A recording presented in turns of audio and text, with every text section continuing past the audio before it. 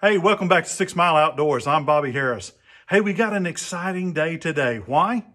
Hey, remember the Forever Gun build? Well, we're at the end of it now. I've got everything done that I'm going to do, maybe, unless I put a different scope on it. But right now, I want to show you the finished product. We've got a lot of work done to this gun, and this is one that I'm really proud of. You can see I've got the KUIU camo on the stock now. Everything's, uh, everything's camoed out as far as the stock's concerned. We did a lot of work to this gun. I think you've been following along with me here and you've kind of seen uh, some of the things that we did. First off, we started out with a, uh, a 1996 model Remington Police Sniper Rifle and a full bull barrel. We had the thing cut down from 26 to, to uh, I believe that's 22 inches. Uh, the end of it is threaded and you can see here they machined a thread protector to go on it that just kind of blends right into the, the unit. I had all this machine work done at Long Rifles Incorporated in Sturgis, South Dakota. They also fluted my barrel. They did a helical flute on the barrel here. They did it on the bolt as well, so you can kind of see the same helical pattern here. Uh, did a number of things. We uh, put a kind of a hexagon pattern on the uh, firing pin cover back here. Um, got it all back, and uh, of course it was in the white. I did a tungsten gray Cerakote on it, so you can see all the metal that you can see here is in a tungsten gray pattern, and uh, which I really like that pattern. I kind of wanted to pick it to go along with this. Uh, KUIU Vias is what this is called, uh, Hydro Dip. And so I really like the KUIU Vias. I like the big macro pattern. I like when you when you're you back up, you're hunting out west, you're a long way away. It's got large print to it, so you can kind of blend in a little bit better in open country. I really like that portion of it. Uh, we got the thing back and we started putting everything back together and we dropped in a Trigger Tech uh, primary trigger. Uh, that's something I try to put on all my guns. I really like the Trigger Techs.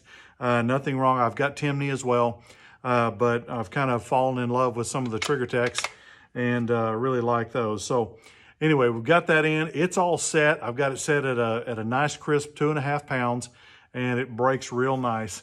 Um, we did put uh, quick disconnects in the stock. So you can see here we've got uh, the quick disconnect flush cups already built into the stock there. I added those in the process before we did all the hydro dip and, and all of that. So uh, we did bed this gun too. So there's an epoxy bedding in here. Everything fits real tight.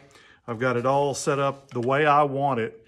Now all I have left to do is uh, hit the range. So I've got some reloading work to do now. And so I've got uh, the uh, powder that I want to shoot. I've got plenty of that.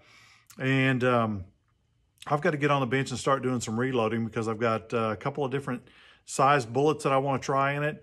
And uh, at least two different powders that I want to try with different loads to try to find what's the, you know, where the sweet spot is on this particular rifle. But I'm going to get it all set up. The only thing that I have left that I may do, that I may do, is I may order a Leupold. This is a primary arms scope that just happened to come with the gun whenever I bought it. Nothing wrong with it. Um, I'm just not overly fond of it, but I do like the Leupold with the CDS system where I can do some bullet drop compensation. So I may wind up doing that and, uh, and getting that coming. Uh, that would pretty much put the nail in the coffin on this particular project. Getting a different scope on it, getting all the ammo lined out, getting it shooting.